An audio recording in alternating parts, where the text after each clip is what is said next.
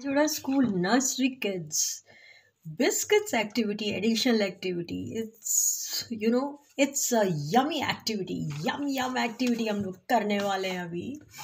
So, right the numbers on biscuits, जैसे आप बिल्कुल समझ गए होंगे कि अभी मैम क्या कहने वाली हैं। Material required, circle shape biscuits, jam and empty plastic sauce bottle.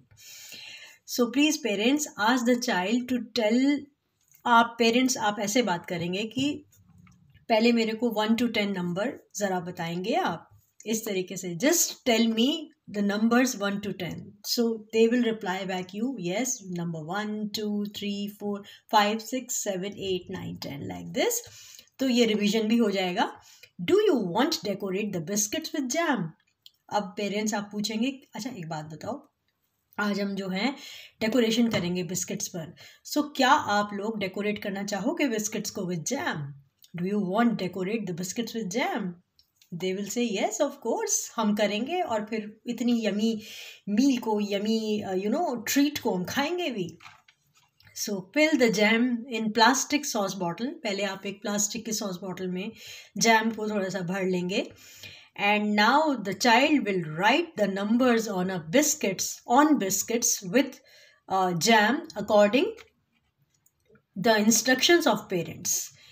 Parents आप प्लीज़ उनको गाइड आप अपनी गाइडेंस में ये करवाएँगे आप बिस्किट्स पर नंबर्स को उनको लिखना है आपकी गाइडेंस में।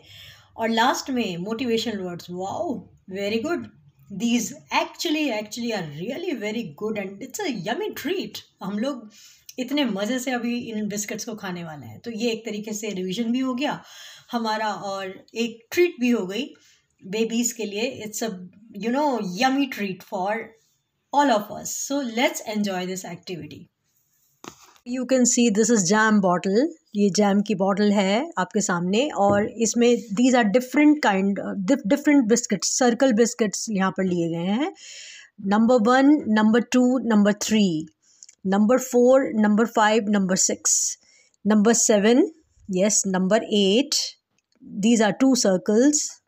And number 9 of course and number 10 so enjoy this yummy treat